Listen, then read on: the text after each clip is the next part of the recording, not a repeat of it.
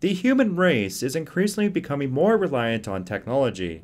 But there is one pivotal piece of technology which is going to drastically change things, and I'm talking about BCIs, which are brain computer interfaces. Now, this type of technology may seem pretty phenomenal at first, and it's not just the access of information and real time analytics. You could also theoretically control other robots, have haptic feedback systems with avatars, instantaneously communicate with other people telepathically, and create artificial realities which you can interact in.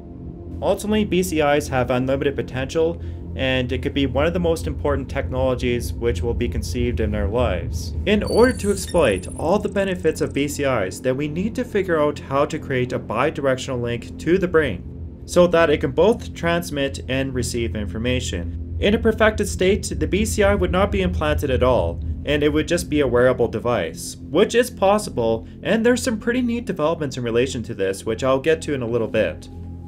However, I'm not too sure about integrating with a piece of technology, especially if it has two-way communication. And in the most extreme case, it could actually be used to control individuals, maybe even the entire human race. Even though it would seem that you have unlimited access to knowledge and information through the internet, there is no guarantee that this information is accurate whatsoever. And we can already definitely see that through politically biased mainstream media and also social media as well. We also have to consider that there actually might be an addiction to this type of technology. And in an extreme case, a person may actually lose themselves and all sense of individuality. Ultimately, what I'm saying is that we should think about this right now before the technology is actually implemented Maybe there should be limitations and regulations on what we can actually do with this type of technology, but in the end, it's probably going to be too late. Regardless of what my opinion is, we are already bridging the mind to outside devices, and this type of technology could create another revolution. So let's progress into a more systematic approach in this video format, and let's look at what BCIs are doing right now. So one of the more notable projects out there which bridges the mind with technology is through artificial reality integration. One company has already accomplished integrating their NeuroSelect device with the brain to give users telekinetic abilities. Now, this thing is a little bit different from its predecessors because it's actually a wearable device, and it's not directly wired to the brain. But it is worth noting that this is not bidirectional, and the brain is only outputting to the device. It's right here. Let's see if Adam is able to get it. Yep. You notice that he was able to click on four lasers at the same time. Your brain isn't limited to how many objects it can click on. And so here you, you saw that lasers were able to come at him and he was able to interact with them and stop them like he's Kylo Ren from Star Wars, which I think is really cool. It's also worth noting that the Neurable can be used in AR and XR as well. So for example, you might want to measure the distance from a building or control a flying drone just using pure thought. Now, AR devices are still in the forms of headsets and hefty goggles, but we could one day see them condensed to the size of sunglasses or even contact lenses. This leads us into brain interfaces which can control other robotics, and this can be anything from a humanoid to even a nano robot. So the potential of this application is basically endless, and this may even lead to haptic feedback systems which are incorporated into remotely controlled avatars. One company has already built a brain-controlled exoskeleton for a quadriplegic, who was paralyzed from the shoulders down. But now he's actually fully mobile thanks to these two recording devices on the surface of his brain to collect and transmit signals. The signals are then decoded with an algorithm, and then this software sends commands to the exoskeleton.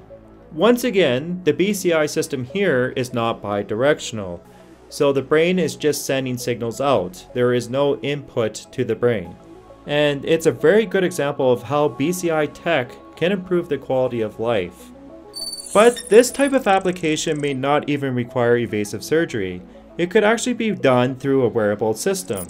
A deep learning neural network algorithm sorts out the EEG signals efficiently, and users can control a nearby wheelchair or even a vehicle.